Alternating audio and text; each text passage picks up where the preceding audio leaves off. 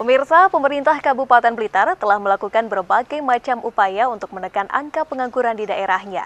Salah satunya dengan adanya mini job fair yang diselenggarakan oleh Dinas Tenaga Kerja Kabupaten Blitar. Mini job fair ini diikuti sebanyak 25 perusahaan dan menyediakan ratusan lowongan pekerjaan. Berikut ini kita simak tayangan selengkapnya.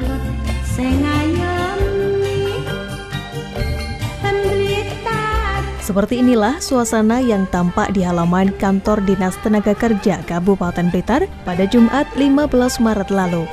Sejumlah pencari kerja menyerbu acara Mini Job Fair 2019 yang diselenggarakan Dinas Tenaga Kerja Kabupaten Blitar.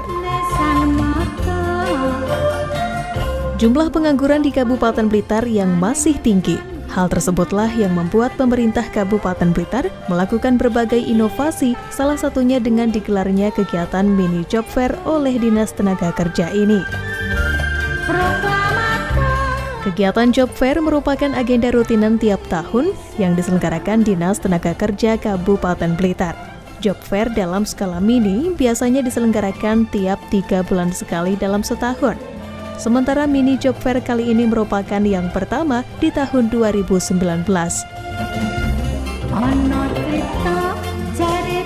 Hadir dalam pembukaan mini job fair ini di antaranya asisten pemerintahan dan kesejahteraan rakyat Pemkap Blitar, organisasi perangkat daerah di lingkup pemerintah Kabupaten Blitar, serta puluhan perusahaan dan ratusan calon pelamar.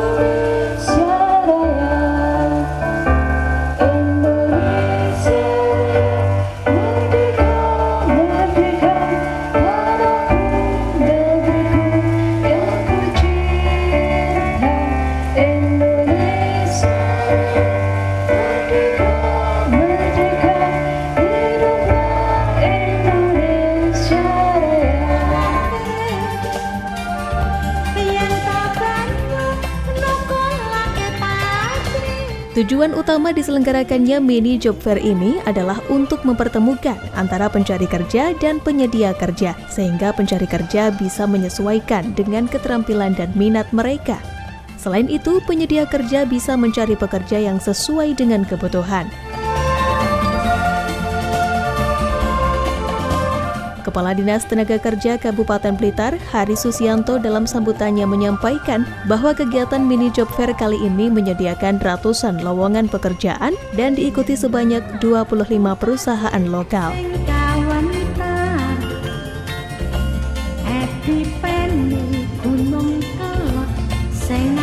Adapun maksud dan tujuan yaitu dalam rangka untuk mempertemukan tenaga kerja atau dalam hal kerja dengan pemberi kerja yang dalam hal ini pengguna atau perusahaan sehingga tenaga kerja dapat memperoleh pekerjaan yang sesuai dengan bakat, minat, dan kemampuannya dan pemberi kerja dapat memperoleh tenaga kerja yang sesuai dengan apa yang dibutuhkannya.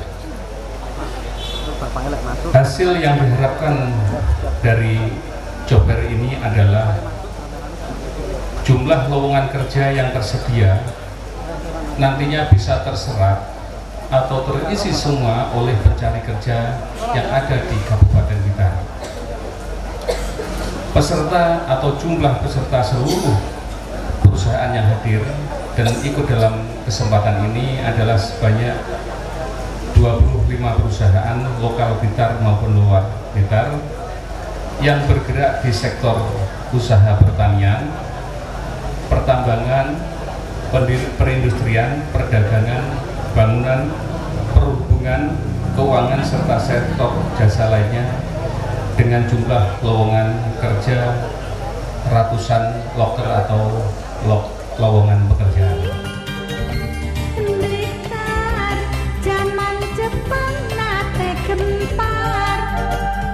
Hari Susianto menambahkan, kegiatan Job Fair Mini di tahun 2019 direncanakan bakal dilakukan sebanyak tiga kali. Pihaknya juga akan menggelar Job Fair Akbar atau tingkat regional yang rencananya dilakukan pada September 2019. Jopait anehnya candi penata eh, pada eh, GTV dan masyarakat Blitar pada khususnya dan masyarakat Indonesia pada umumnya eh, pada hari ini di Senaker Kabupaten Blitar menyelenggarakan pameran busa kerja yang terkapasitas boleh dibilang job fair mini. Ini masalahnya adalah eh, perusahaan yang kita rekrut yang kita selenggarakan adalah lokal, bersifat lokal.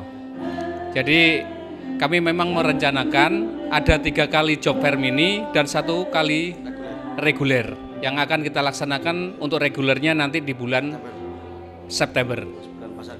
Eh, pas ya bertepatan dengan hari pasar kerja.